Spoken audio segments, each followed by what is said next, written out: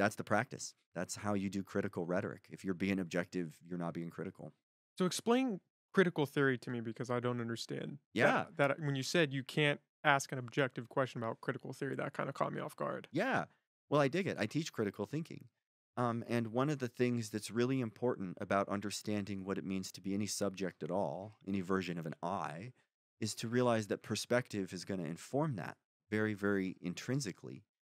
Where you sit and who you are fundamentally informs questions of what's possible. And, you know, between you and me, this table between us is pretty solid, but neutrinos are flying through the thing like it doesn't even exist. So, is it real or not is a question of the arrangement of our molecules and at what point like we don't even touch the table they say our atoms just say no we're not going any closer um and that's a very subjective thing that's a very very subjective thing and Soyini Madison's book I think is really great on this because she's like as far as objectivity this is me trying to translate as far as objectivity is concerned when we look at obj- objectivity from a subjective space we're going to define that as what is true for almost all of us what is true for almost all of us.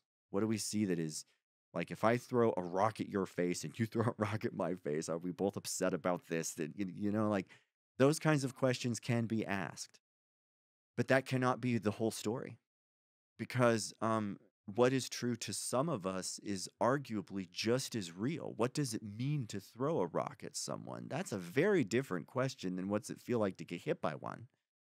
And one of the metaphors I use a lot is as an old punk rocker and heavy metal fan, I've been kicked in the face in a mosh pit. And the fact that someone doesn't mean to do it matters. That definitely matters, but not a lot.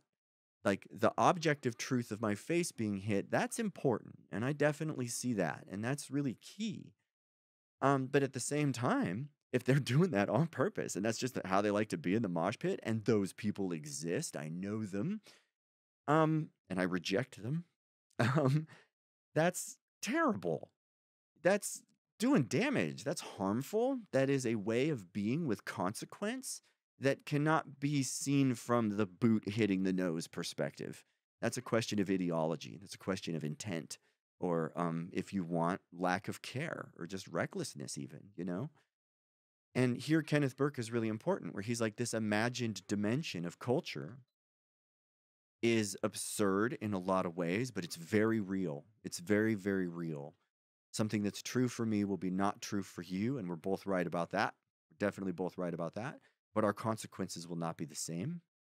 And that's really meaningful. And so for Madison, Soyini Madison says the only way we can really understand human reality is to get the objective and the subjective at the same time.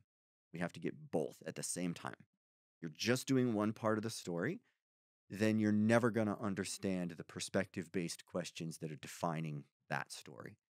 And so, as a critical theorist, everyone's like, they're just navel gazing, they're just talking about whiteness all the time. And um, we're very prepared for that uh, argument. It's a very predictable way of dismissing theory. But at the end of the day, if you do the reading, definitely not. It's not what we're doing. That's what peer review is about. Is if someone is like, you know, one of the examples in Star Wars is like, um, Princess Leia has this really traumatic opening and everyone fixates on Luke Skywalker, right? I think this is a question of sexism. Other people are like, it's just the, the camera looking at Luke Skywalker. That's a kind of subjective question. Make sense? When we go looking at the kinds of questions women ask in movies and whether they know the answer to that question. In Men in Black, Tommy Lee Jones asks a lot of questions, but he knows the answer to every question he's asking. And he's the only one in the room that does which makes his question very performative. It's a showboating thing. You know, like, do you have any idea what Foucault would say about this, Nick? And if you do, great. And if not, shame on you. You're whatever. He's showboating. He's being a jerk. And yet, when women ask questions, they just fundamentally do not know. What is that? What's going on? What do we do? Like, these questions are structurally ignorant, and his questions are structurally empowering. That's not an, a subjective question. That is, I tell students, can you put a balcony here? Yes or no? That is a structural question. And we're doing necessarily, if we're doing our job well in critical rhetoric, we're trying to do both of those things. We're trying to ask standpoint questions from a position of who we are as a scholar and to connect them to broader questions of structure. We're trying to take the personal and explain how it is political. And if you can make that connection, that is critical theory. If it's just, here's what I think about this, that's nice, but that's not critical theory. And so, if we're talking critical theory, we're talking structures of ideology. Structures of ideology can't be objective. I've strayed so far from your question, Nick. I'm trying to walk my way back. Am I making any progress here? A little bit. I'm still I'm still a little confused. I understand the connection that might be there for critical theory because my understanding of that is pretty limited. Yeah. But for critical thinking in that realm, Mm. isn't objectivity the the sole purpose of that? Isn't that how you find these objective truths and That's understand how you truly feel is by taking an objective I mean, once you let a subjective view come into that, are you yeah. how, how do you quarrel with that? Here's a good example I use a lot, and it impacts me here in Humboldt County quite a bit, including this morning. when my feet are really cold and I put them under lukewarm water, it hurts. Hurts. Feels hot. The temperature of that water, not high. But my nerves, because they are about degrees of difference, the way sense is made is always about gradation. And if you're at low grade and we leap to high grade, we're going to say that that's going to get us some gain. It's going to get us a peak, and we don't like it.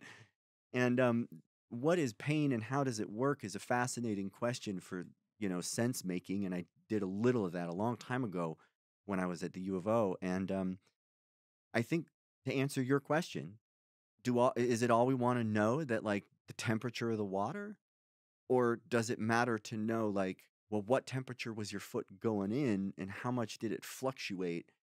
Both of those are true.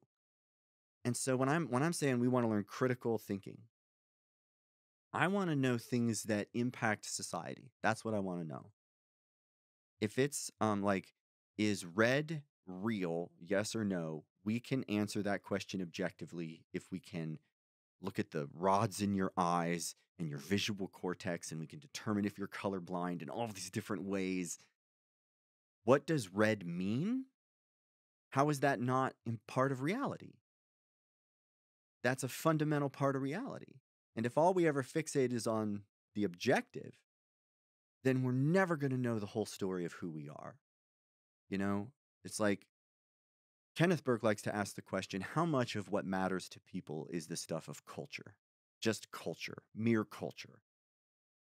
And he's like, well, it's questions of like, who are you and who am I and what are we doing right now and why are we doing these things and what do you have to do tomorrow and what did you do yesterday? He's like, according to Marx, if you have a frog that hops one way, if you put a different ideology in the frog, it's going to hop a different way. That's the power of ideology. It's going to change the way the frog hops. Does the universe objectively care about ideology? Does not. Does not. The cosmos has no way of rendering ideology. And what makes Marx significant is less his story about class war and all of that, great, and more his lesson that ideology is fundamentally material and it impacts you at least so far as class is concerned. That seems pretty real. The, the universe has no substance for class, but we sure seem to care, you know?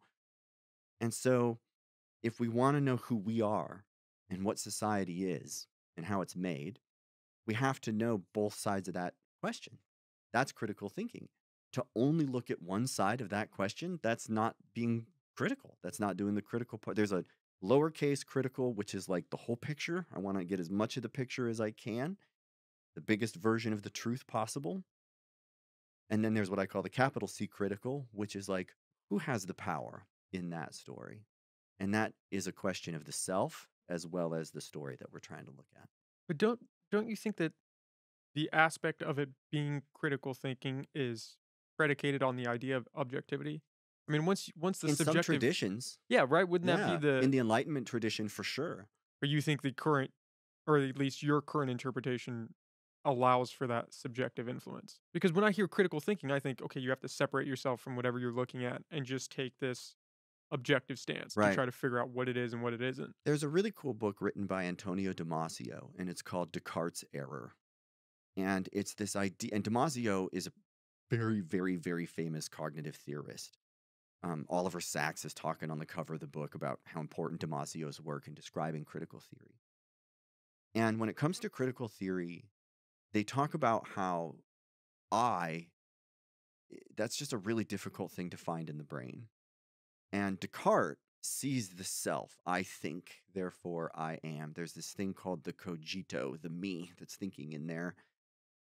And what we want to do with enlightenment is get away with or give up everything beyond that I and find just what is connected to that I. And this means turning off all of our feelings and all of our emotions and centering on mere rationality. And we call it mere rationality now because that's a very selective way of looking at the world.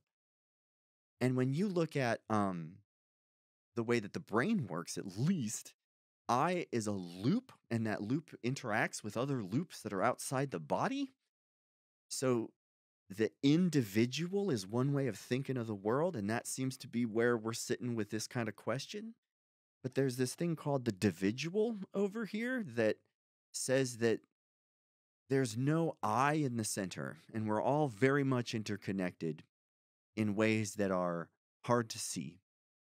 And that is a fundamentally different way of just asking the question that you're asking about critical thinking. Those are two very different schools of thought.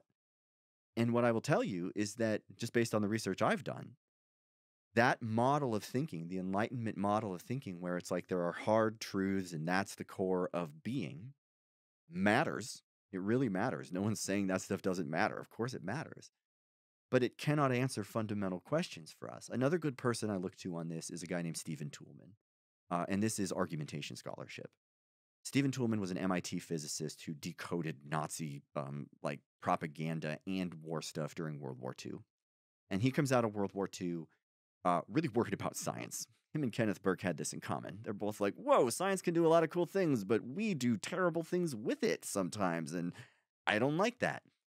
And what Toulmin says is that the formal ways of arguing, the formal theory, the hard facts of life, so called, that exist are, so far as most people are concerned, pretty true. Can't get around those. You drop a rock on my foot, it's going to freaking hurt. You turn my nerves off, suddenly it don't. And that's biology, and that's fundamental to who we are. And he's like, great, but what is friendship? When are you in love? Uh, what is a hero? Uh, what do we do with people that don't belong? These are really, really profound questions. And here, there's just no math equation. And if you make one, I'm really, really afraid of you. I'm terrified of who you are because you cannot boil all of those questions down to one way of being. Looking at the way language is structured is another really fascinating way to take this question on because English, in particular, has a kind of famous legacy for being very linear, which means we like to focus on single things and we create hierarchies and orders and things so that we can go top to bottom or front to back and things like that. Other languages are much more event driven or they can be much more directional. So, a student in my class talks about how their language does not have a waterfall. They have a word that describes water falling, mist rising, the kind of fish that can be within that particular area, depending on how deep it is. And there will be the name of the particular thing, which is kind of like what we do. So, we have like Multnomah Falls. And um, I gave them that one. And they're like, well, that's kind of interesting because at least there it is. You have the falls, which is like a live kind of thing and he's like, that's kind of like how it works in our language. And it's for, from a critical thinking standpoint, we can be like, well, there's one way to look at the world, and then there's a bunch of different ways to look at the world. Do we want to fixate on what's true for everyone at the expense of what is true only for some people, meaning large swaths of the world all over the place? I want to do both. And I think that at the end of the day, one of the things that people come back to a lot with critical thinking, it's supposed to be hard. It's supposed to be hard, and it's going to be hard for two reasons. Number one, reading is hard, research is hard. I don't like to cut cards, it's hard.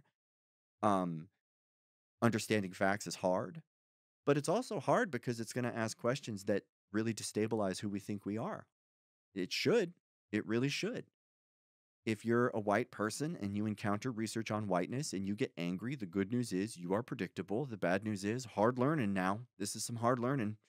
Not fun, but but if you see yourself as white, if your peers see you as white, if the police see you as white, it is really important that you understand what that means and know that getting upset is a predictable part of that. I experienced that. I talk about that in the book. It's fragility. You're taught to be fragile. Movies will reward fragile behavior constantly. Um, And I think that that is a fundamental part of who we are. I think that we that we have to know that. I want to know how that works.